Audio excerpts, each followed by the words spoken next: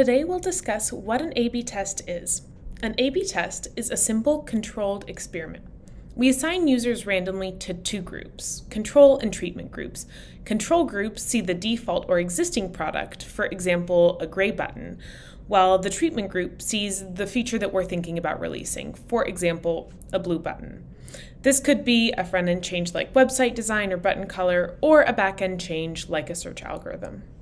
We gather user interaction data from the two groups and use scientific algorithms to determine if the given feature we're releasing results in a better experience for users.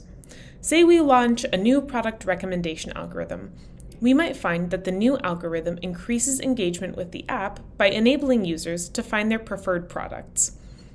A B testing enables us to determine true cause and effect relationships between the changes we make and the effects that we see in user behavior. A B tests help us separate extraneous triggers that pollute the metrics that we typically observe on a dashboard.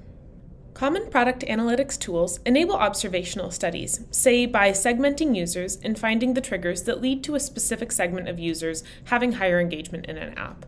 These studies generally capture correlation, but not causation. And when we look at the pyramid of experimentation here, that's going to be in the lower half of the pyramid in that lighter gray area. A higher level uh, A B testing is going to be operating in the top of the pyramid. And what makes A B testing special is that it's a randomized controlled experiment.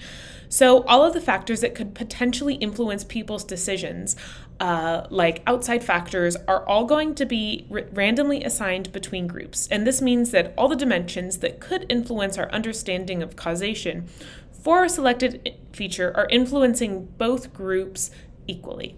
Statsig can help you run A B tests faster by providing the backend data science engine and a super easy to understand visualization dashboard.